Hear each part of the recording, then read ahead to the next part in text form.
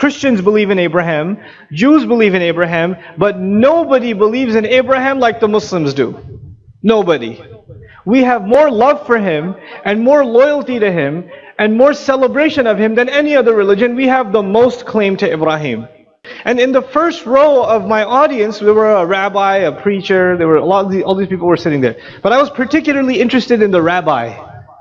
Because for the rabbis, the two most important figures in their religious tradition are Abraham and Moses. Ibrahim and Musa alayhi salam.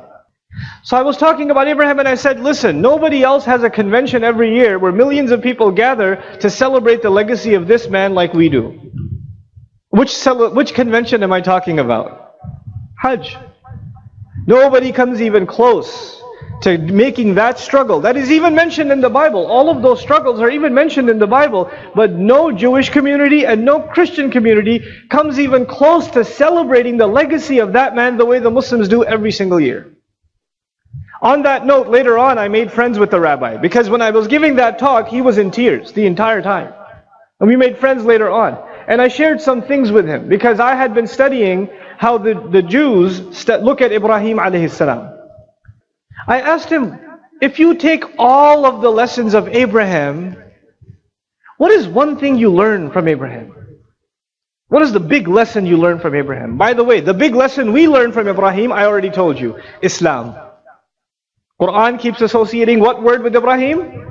Islam, which means the big lesson we learn from Ibrahim alayhi salam is complete and absolute submission to the command of Allah. Allah asks, you do it. That is the lesson from Ibrahim alayhi salam. Not questioning Allah, trusting Allah completely and falling in submission before Allah. That is what the Muslim learns from Ibrahim alayhi salam. So I asked the rabbi and I was expecting the same answer. Because it's the same, you know, this, these books were also revelation. How much could they have changed it? And something as basic as the legacy of Ibrahim alayhi salam. And you know what he told me? Amazing. He told me we learn from the legacy of Abraham that we can question God. And I said, what? Say that again? You, where did you learn that from? Which Abraham is this? And they said, well, you know what happened? The, you know, and he tried, he gave me this whole analogy. He gave me the analogy of a child. When a child is very young, and you tell the child, sit down. Then the child sits down. When you tell the child, time to wake up, the child wakes up. And the child is more and more obedient to the father. But as a child grows older, he starts asking questions. Sit down, but I want to stand up. Time to wake up, I want to keep sleeping.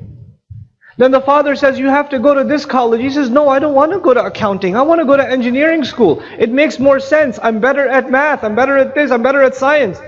He starts arguing with his father. And the rabbi tells me when the son starts arguing with his father, the father is actually very proud of him because the son has become so mature and he understands the outside world that he can talk back to his father. This means that the son has become more and more knowledgeable. So, you know, the same way, Abraham, later on in his life, when the angels came, you know, one of the, one of the stories in the life of Ibrahim alayhi salam is angels came and they were going to destroy the nation of Lut.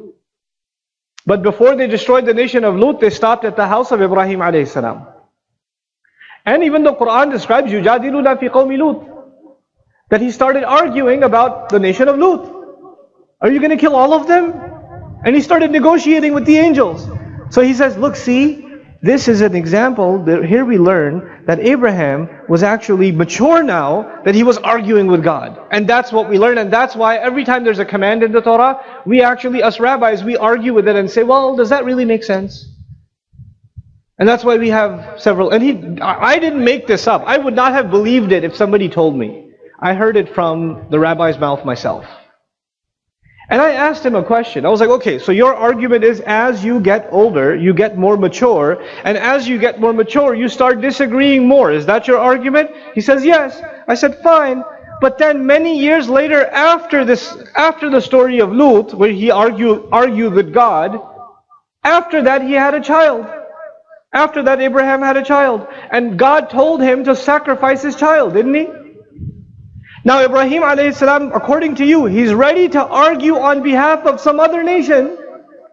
But when Allah says to him, you're going to kill your own child, he says, okay, fine. He just does, he doesn't argue. Does he argue? No. And that happened later. But I would say, according to you, if it happened later, he should have been even more mature and he should turn back to Allah and argued even more. And he just smiled at me. There was no argument after that.